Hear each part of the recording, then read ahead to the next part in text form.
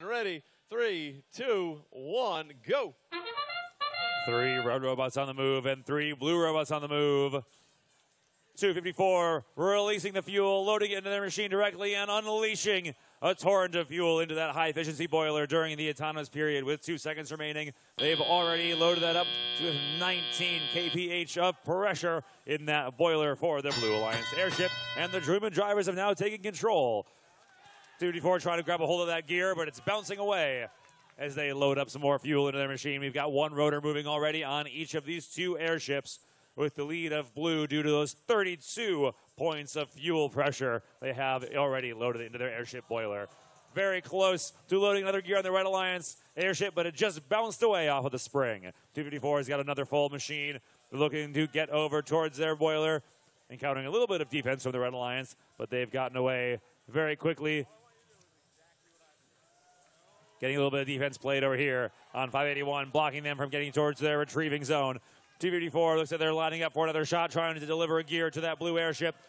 And the red airship has two gears. They've already started up their second rotor, pulling them ahead to about 115 into the lead for this match. They've got some contact over there in the receiving zone for the Red Alliance.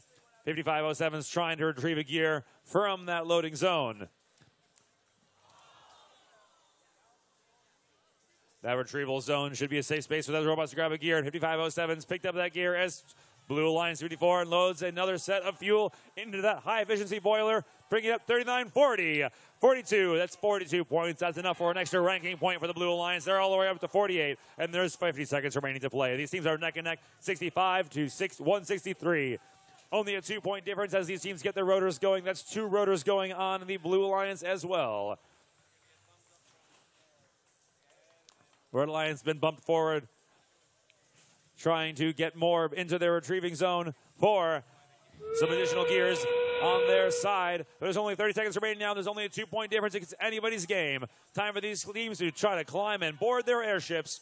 This could make or break it as 254 unloads some more fuel into that high efficiency boiler. They pull ahead to 167, 168, 167.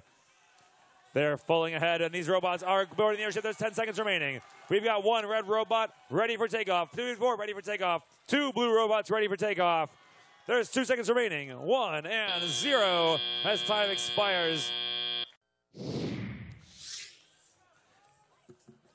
The airship's taking off, running toward the finish line, and Blue Alliance comes out just ahead at 273.